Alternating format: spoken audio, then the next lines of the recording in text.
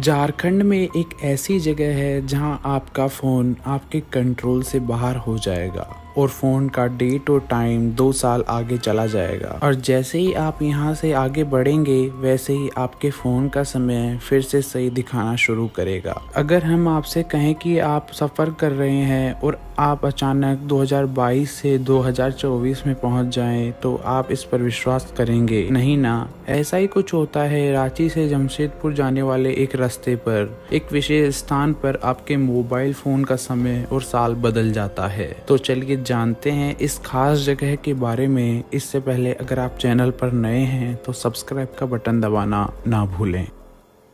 N S तैतीस highway Ranchi को जमशेदपुर से जोड़ने वाली सड़क तो ज़रूर है, मगर लोग इसको मौत का हाईवे भी कहते हैं, जहाँ ना जाने कितने वाहन दुर्घटनाग्रस्त हुए हैं और ना जाने कितनों की जान इस घाटी में निगल ली गई है। लोगों की माने तो उन्हें इस सड़क पर एक औरत घूमती हुई नज़र आती है जो सफ़ेद कपड़े पहने हुई रहती है। जब वाहन का ड्राइवर औरत को बचाने की कोशिश करता है तो उसका वाहन दुर्घटनाग्रस्त हो जाता है। अक्सर इस सड़क से गुजरते हुए दुर्घटनाग्रस्त वाहनों को देखा जा सकता है। हाईवे पर पड़ने वाली तैमारा घाटी बेहद खतरनाक है। जब आप इस तैमारा घाटी के आसपास के क्षेत्र में जाएँगे तो यकीन मानिए, आपके फ़ोन का टाइम खुद ब खुद कंट्रोल से बाहर हो जाएगा। जी हाँ आपके फ़ोन का डेट और टाइम दो साल आगे चला जाएगा और जैसे ही आप यहाँ से आगे बढ़ेंगे, आपका फ़ोन सही समय दिखाना शुरू कर देगा। वहीं ग्रामीणों ने भी माना है कि नेटवर्क की प्रॉब्लम हो जाती है। कॉल तो किया जा सकता है, मगर इंटरनेट बिल्कुल भी काम नहीं करता है और तारीख और समय भी बदल जाता है। है। हालाँकि इसका कारण उन्होंने कर्क रेखा को बताया है, जो कि इस क्षेत्र से गुजरती है।